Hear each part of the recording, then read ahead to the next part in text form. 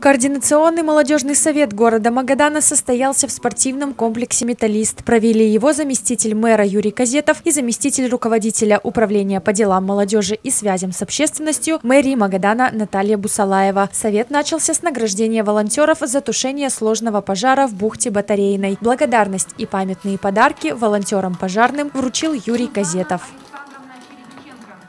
Среда нашего обитания, нашего обитания местах, где мы проводим все свое свободное время. И раз случилась такая беда, пожар, надо как, было как можно быстрее это все избавляться. На, на батарею пустили 20 человек. Юрий Федорович так распорядился. А был готов тушить там около 80. Нам пожарные раздали ранцы спасательные за, за спиной. И мы э, носили воду в емкость для пожарных. И в этих ранцах ну, тушили сами. Там, получается, это было на горе сам пожар, а вода была далеко внизу. И нам пришлось из, из, ну, далеко, там километра полтора-два, таскать воду в большую емкость с ручья. И вот мы таскали воду для пожарных и тушили сами на бересил. Так что внесли свой небольшой вклад.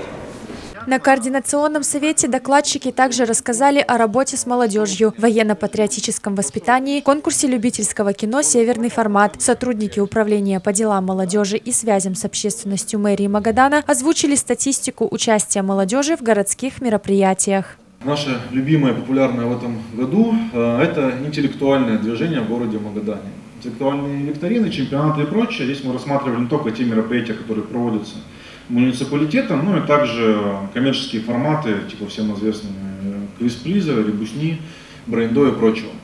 А, здесь статистика не очень однозначная. Видим большой процент тех, кто не заинтересован и не принимает участие в таких мероприятиях. Но это связано с кажущимся респондентом высоким порогом вхождения в такие мероприятия.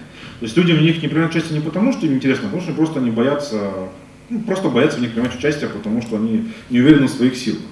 Общественная организация «Молодежный меридиан», студия «Северный ветер» при поддержке мэрии Магадана и правительства Магаданской области в этом году провели кинофестиваль «Северный формат». 1 декабря уже завершили прием заявок на конкурс.